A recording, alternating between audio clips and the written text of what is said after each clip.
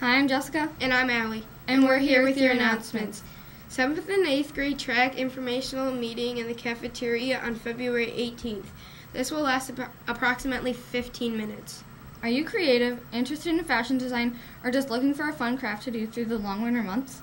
Students who know how to knit or are interested in learning to knit are invited to the 7th grade office for more information regarding the potential of a knitting club coming to Roms.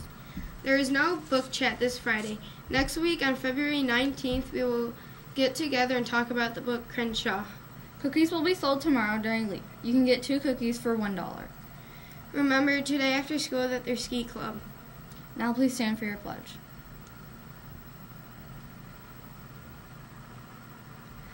I pledge allegiance to the flag of the United States of America and to the republic for which it stands, one nation, under God, indivisible, with liberty and justice for all.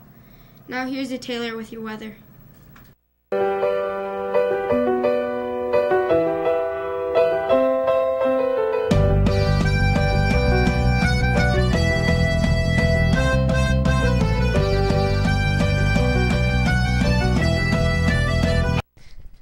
Hi, I'm Tete, and I'm here with your weather. There's a high of 21 and a low of 10. It's super cold, so wear a hat.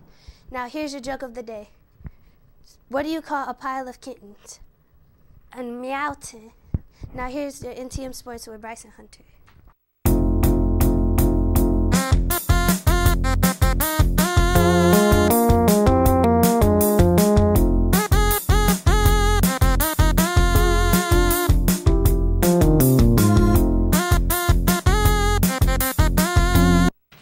Hi, I'm Hunter, Hi, I'm Bryce. and we're here with your sports. The 7th grade volleyball team had another successful match last night.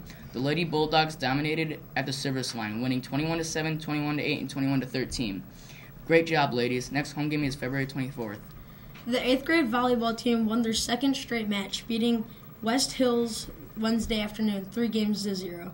It was a very competitive match. The scores of the games were 21 to 18, 21 to 17, and 21 to 11.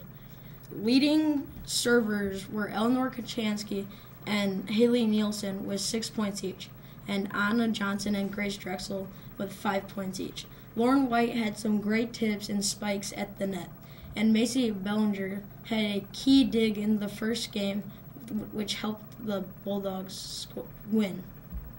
Pistons lost to the Nuggets 103 to 92. The Detroit Pistons re- retired Chauncey Billups' jersey.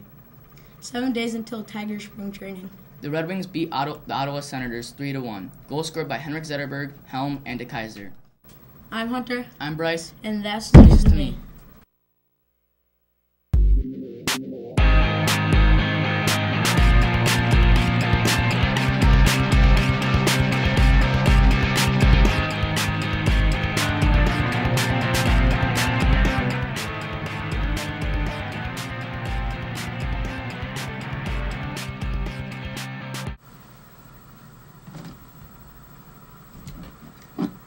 Oh, cookies will be sold tomorrow during LEAP. You can get two cookies for $1. Bryce. I'm Bryce. And